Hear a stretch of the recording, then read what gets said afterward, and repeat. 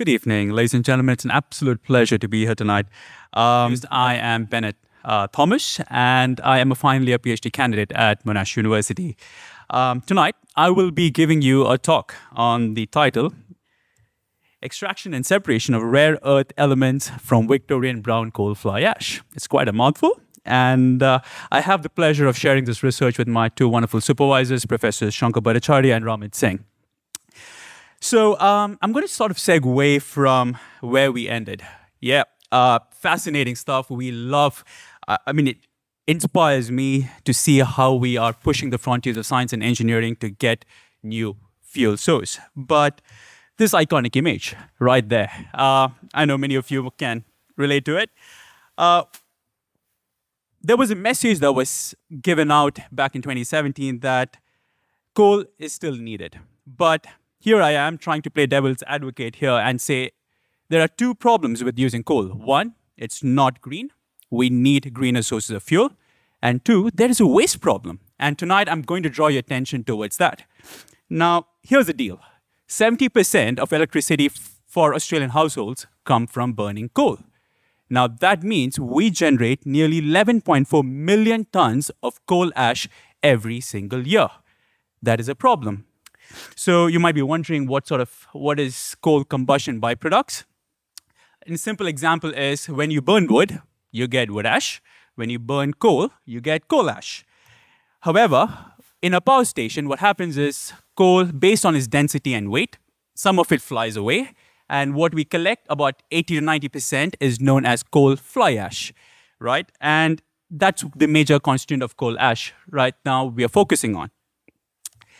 So what's the theme of my talk is to clean up our act. We have a duty of care to do this not just for ourselves and our future generations, but for what we have messed up so far. The problem, we have no commercial application so far for brown coal fly ash, either in civil or construction projects. Two, it is disposed of in ash ponds, raising severe environmental concerns. So we started talking about this. We, we started analyzing the problem. We are like, why isn't this being used? Why isn't there an application for coal fly ash? Here's the deal.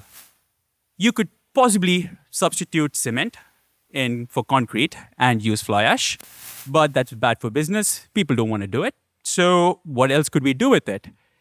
That's where we came in with a different dimension of thought and we said, what if we could extract valuable metals from coal fly ash? And here we are in the second decade, enter rare earth elements into the chat. So what are rare earth elements? They're a group of 15 lanthanides, as you can see in the modern periodic date table, and including scandium and yttrium. These do not let the name fool you. These metals are not so rare and are in fact present all around us. But here's the deal. They are difficult to mine from ground up because there are very limited mining locations that can actually, we can actually do a feasible and a commercially important process for mining rare earths. So the question is, what's the big deal, Ben? Why are we talking about rare earths?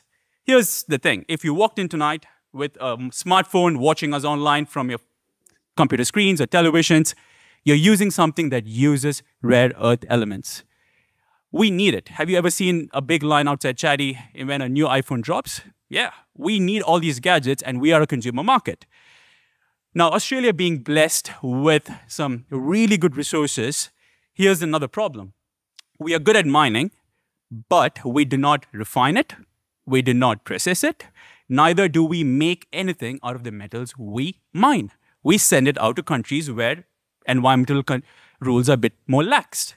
So we took on this head on. We asked a few important questions, which is, can we utilize a feedstock which has been already been mined, washed and processed, and as a secondary source of rare earth elements? Can, is it possible to do it from brown coal fly ash? And if so, how do they exist? And finally, can we do it sustainably so that we can build opportunities in Australia and create more uh, manufacturing industries right here, right now. So what did we do? We collected samples from three power stations in the Gippsland Basin, Yallourn, Morwell, and Loy Yang. One of that is shut down, and two of both of them have imminent closure dates. So uh, we fell on some prior art, and we saw that Bone and Schaap in 1981 observed trace elements of rare earth elements in Victorian brown coal. Now, this is way before I walked on the face of Earth.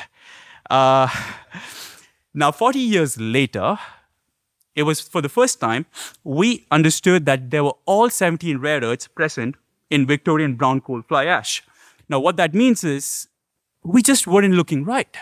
We had to just look at a waste or something that has been discarded to see that it was nearly enriched 200 times in brown coal fly ash. How fascinating, right? So the question then was, uh, is it really important? Is it viable? Is it can we commercialize this? What is the impact of this research that we are doing?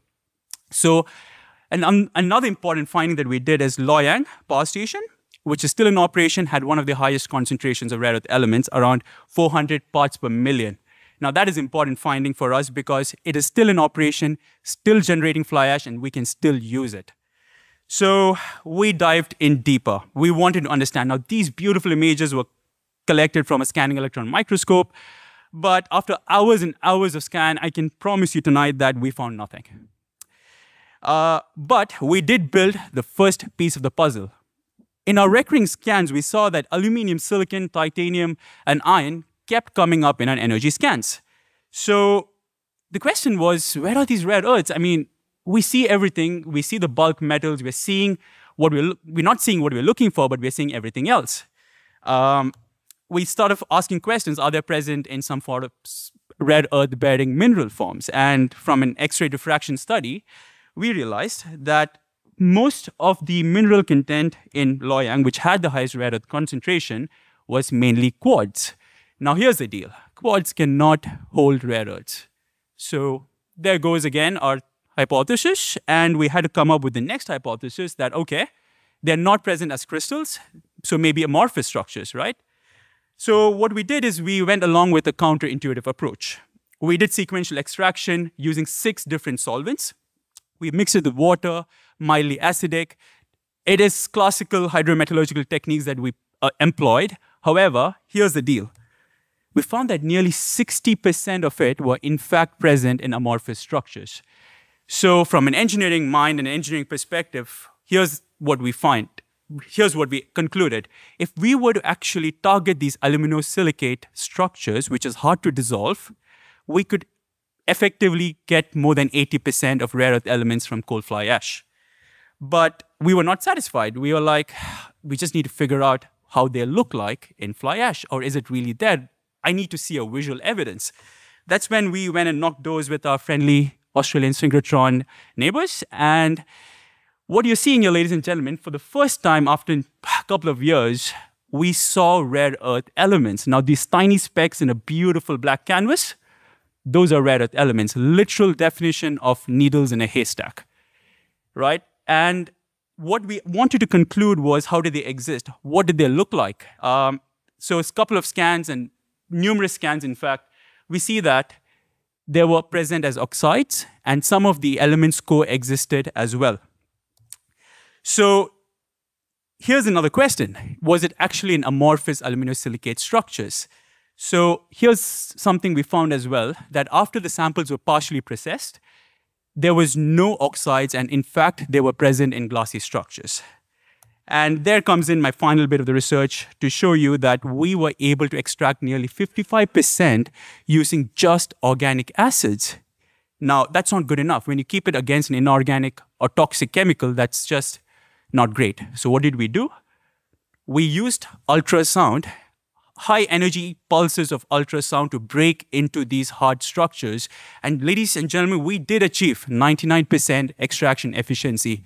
That is even better than some of the inorganic acid processes that's out there. So is it scalable? We tested, we started with 100 liters, we scaled it up to 30 liters, and the results are reproducible. And the final bit of the research that we did was to separate them out.